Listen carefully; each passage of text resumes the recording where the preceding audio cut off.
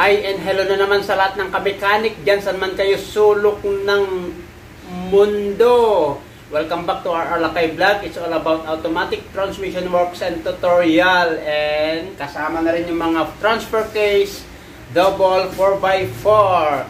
So, welcome to our channel. It's me again, R. Arlakay and with Paul again. So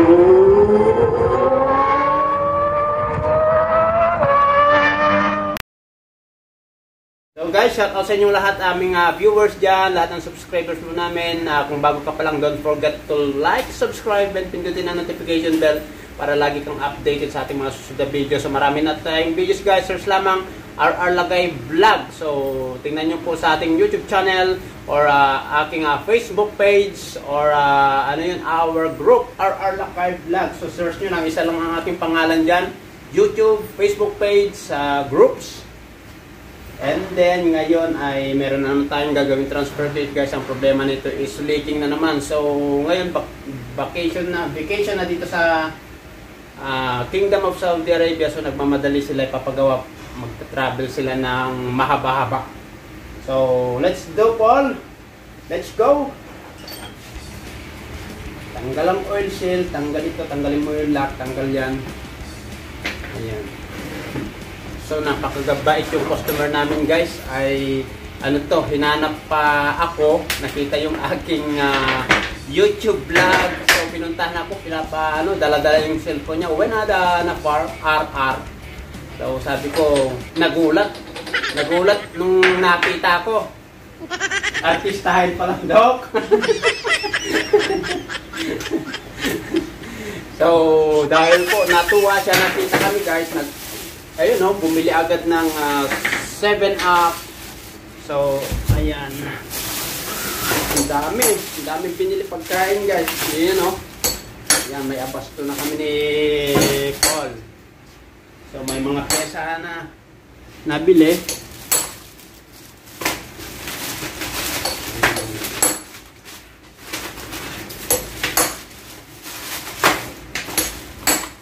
So, Silicon, mayroon siyang apat na na Guys, within not 1 hour 30 minutes.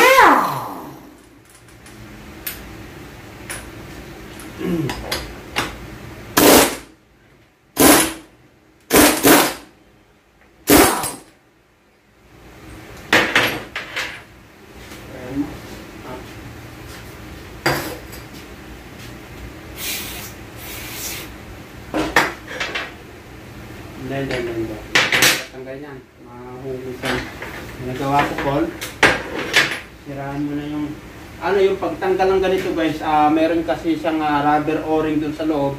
Uh, pagkawan sa pinupok mo, hirap talaga tanggalin yan kahit sikwatin mo. So ang ginagawa pinuputol ko din. Papalitan natin ng... Ano yan, hindi natin papalitan pero lalagyan lang natin ng silikon.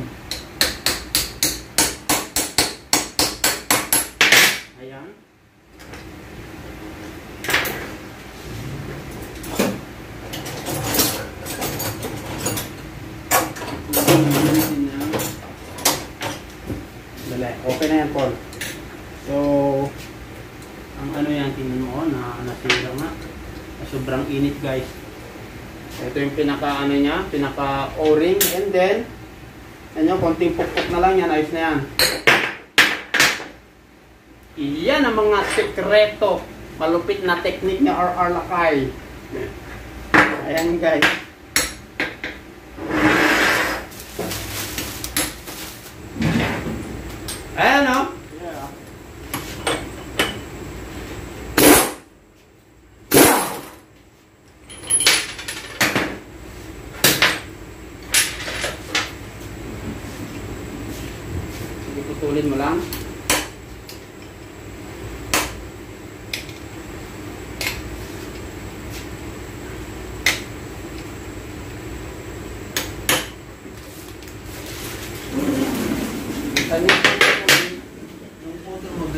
ibubuka mo kasi babalik din natin yun. Tapos, pagka ano lumabas, titin mo lang na ano.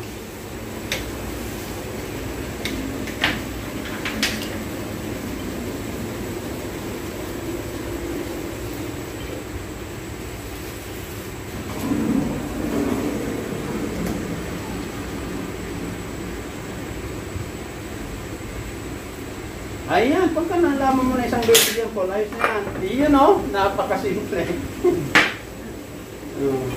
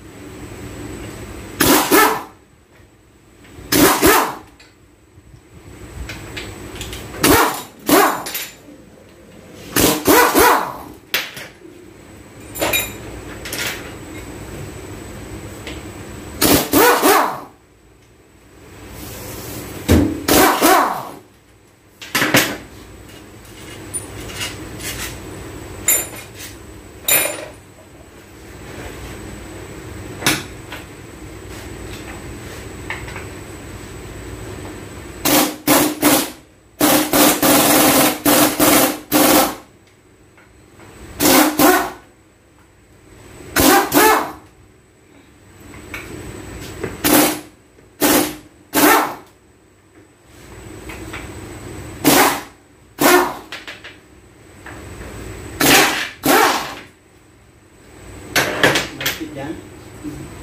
May mga ano yan, first time na ma, ano, matanggal. Kaya may din.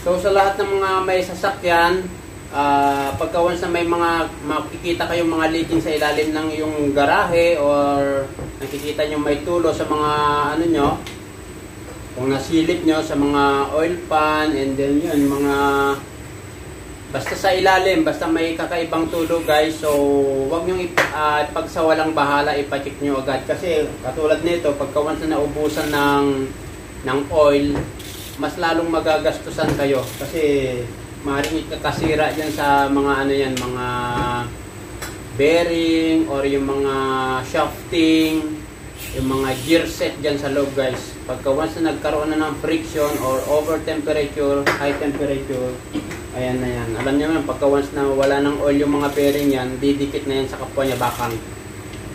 So guys,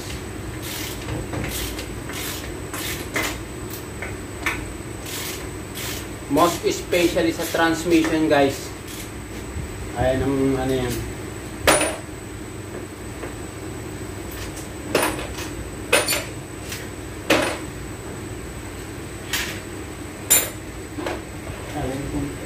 Okay na, eh, yung may kainan na yan, itapon mo na yan. Wala na? Dito pala mukha. Ito. Sige, yan mo na. Pagka magpupuk ka dito, yan sa may ano lang, yan sa may tornilyo kanya. Yan, yan mo na para bumuka. Kahit paano pa, ayan. Okay.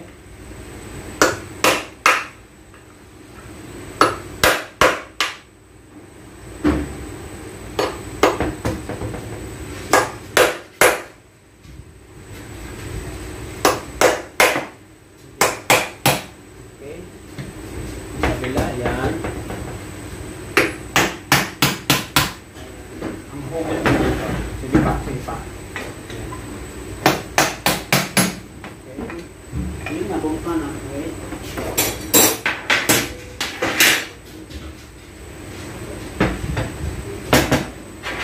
Sige, hilain mo.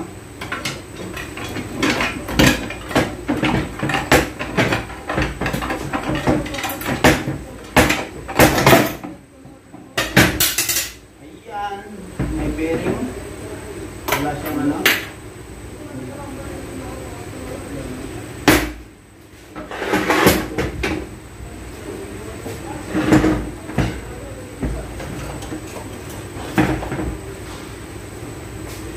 So ito, nalaglag, may uh, roller bearing. So dito siya nakalagay.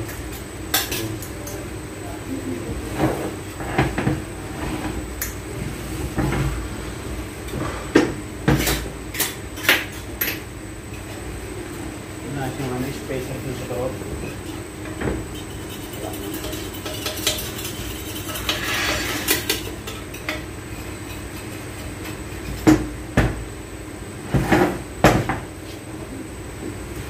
So ganito lang din guys pagka nagpapalit ng ano ng ah, ah, ang tawag nito ah, actuator motor transfer case actuator motor ito siya. So ito lang tinatanggal lang tong dalawang nut dito na 12 and then huhugutin lang yan buo. So yung mga iba kasi ayaw nila ipapabukas. Gusto nila ipapalit ano yan ipapalit ah, buo. Ilalagay ng buo transfer case. So ginagawa natin, tinatanong natin kung willing siya magbayad kasi pagka ibababa ng double ng ganito, iba yung labor. Kaysa kumpara yung ano yung ilalagay mo lang yung ano, tatanggalin mo lang dito. May iwan yung shafting. So pagka ganito ang labor namin, bababa mo ng ganito, katulad nito. Nasa leaking 800 Saudi Riyals. So kung kasama ito, papalit ito, yung ano transfer case niya ah, ano ano ano yung actuator motor niya so sinisingil ko yan na 1,200 to 1,500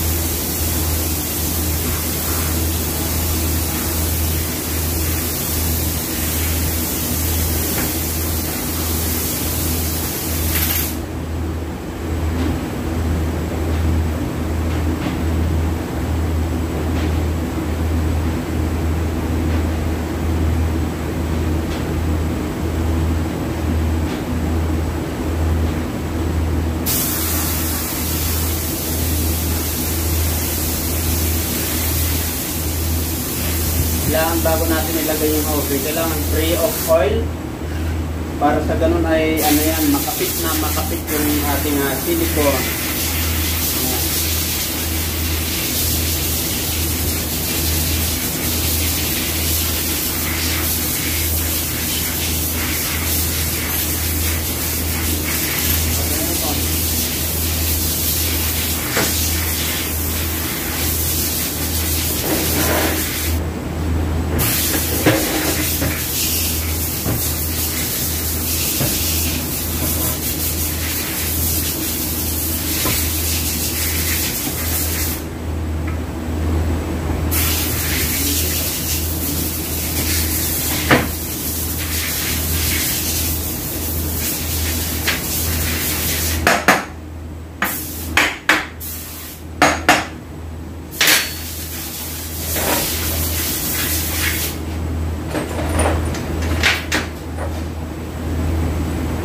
Nakalimutan yung ano? Alin?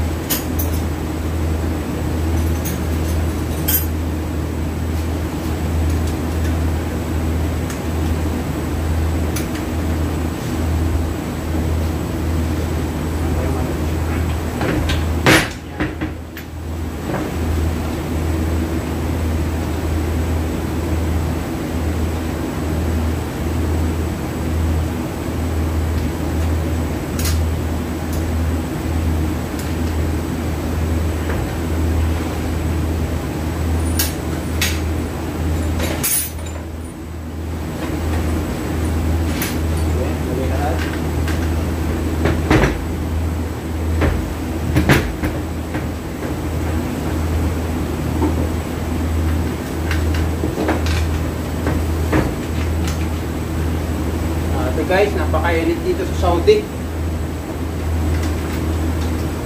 Umabot na yata ng ah, 50 ang init ngayon guys. Mo, nandito may electric fan na natulo pa rin ang ating ah, pawis.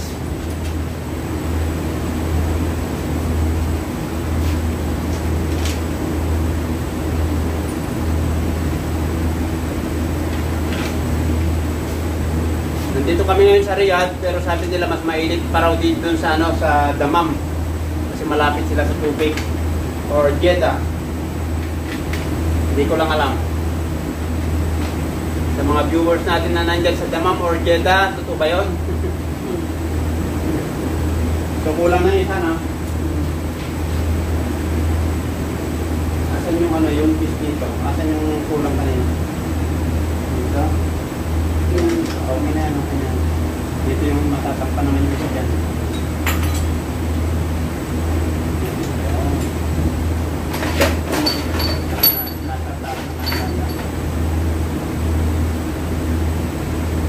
Dito yan.